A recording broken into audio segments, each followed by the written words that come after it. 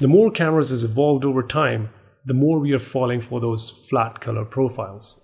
It's just the control, the ability to repaint that look and feel of your footage.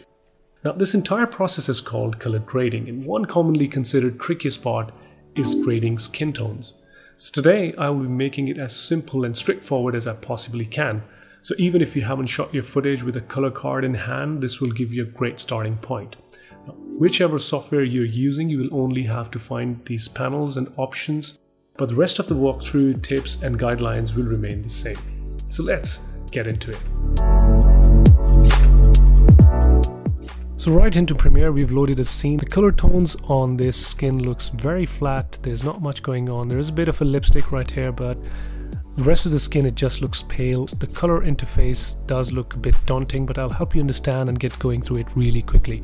So first off, you need Lumetri scopes. Here right in window, you have the Lumetri scope right here can open this up or you can open up your workspace which is color and you'll get all these panels opened up by default. In Lumetri scopes you have this part right here which is called the vector scope YUV. It's a color wheel that'll tell you all the colors red, yellow, magenta and so on. Really you have this waveform luma. This is going to tell you how bright or low the image levels could be at different point of time. Thirdly we need this Lumetri color panel which is right here. If it isn't open for you just go to window and open Lumetri color. So Lumetri scopes and Lumetri color, two things you're going to need.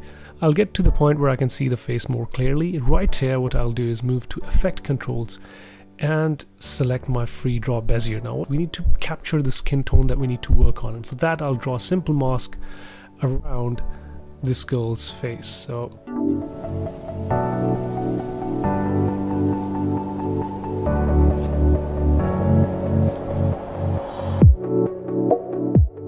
no hairs and no lipstick.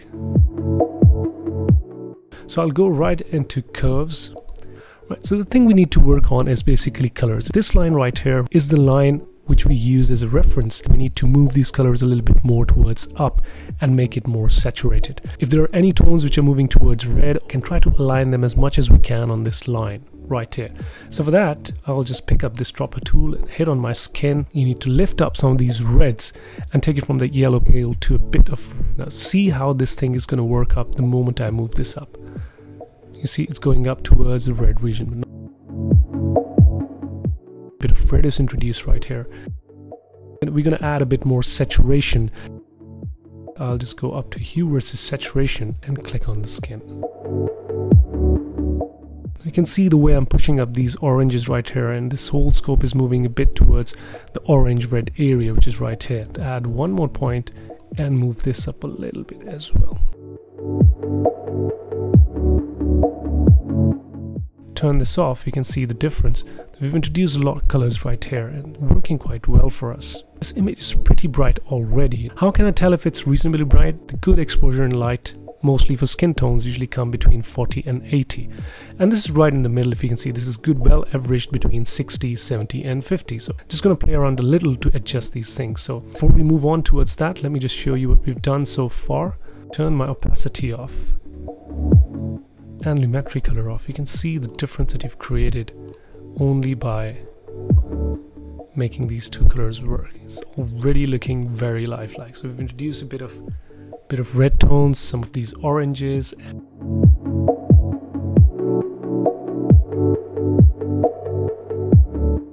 Next up is the final retouching for the scene. Lift up the contrast a little bit, not too much, somewhere around 20 should be fine, 2021, yeah that looks good. Raise up some of these highlights and for that I'll just keep Lumetri control in my mind. So we can reduce some of these shadows right here under the cheekbone and around this area. So if I turn this off, you can see highlights are a little too much. So I'm going to reduce them down and reduce some of these shadows as well to equalize this whole thing. Now I think the scene looks really well. So now let's go back to effect controls and turn off Lumetri control. If I turn on the hue versus saturation right here, you can already see that this scene looks much better. So I've done some changes in the color wheels which is right here. We've introduced some of highlights we've done some of these shadows and right here in the in the curves we've added a bit of hue versus saturation so you've seen it's got a bit more saturation. If at any point you feel that the saturation is a bit too loud you can always reduce this down a little bit and adjust that to your liking. Now for me it looks pretty good right now. Turn this off you can see all pale yellow. And right now see it looks already looks really really good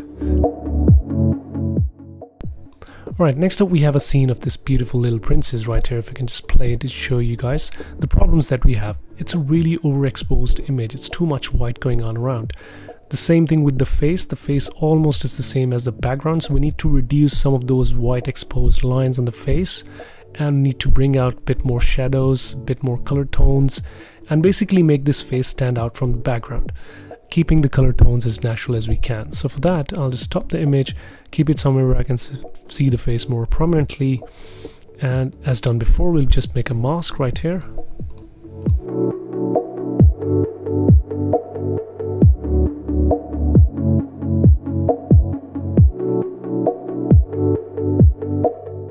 Based on that, you can see the Lumetri scopes pointing right here. We are very low on saturation, so we need to boost up some of these colors to come somewhere around here.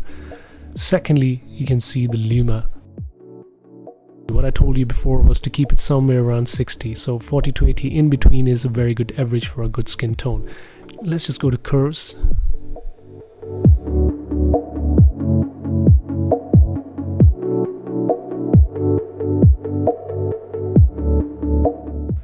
raise some of these mid-tones up a notch turn this off and on you can see that it's moving that flat pro profile a little towards more skin looking natural profile so we just go back turn off the opacity turn off the lumetri colors you can already see that there is a lot of color that has been brought back to this face so before it was completely white, now it looks more organically skin toned, but it's a little too exposed. So for that, we just need to go back to add a bit more contrast to the scene.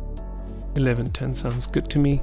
I'm going to bring down some of these midtones because you can see all of these midtones are really, really high right now. See how this comes down when I pop down some of these midtones. So I'm going to bring them down. And finally, I'll just add some of shadows right here to my scene. So there we have it, a very good looking scenes. Now you can see a bit of yellow going on, but there is a fair amount of red and the screen, the overall saturation has gone up as well and I think that looks really nice. Let me play it out for you guys and you can see it for yourself. This is what you had before, this is what you get now.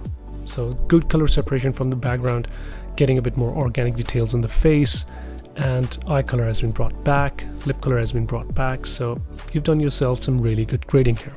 So there we go guys, hope this walkthrough has helped you or will indeed be helping you in creating better content for your clients. Hit like and subscribe if you like what you see. Suggestions are appreciated.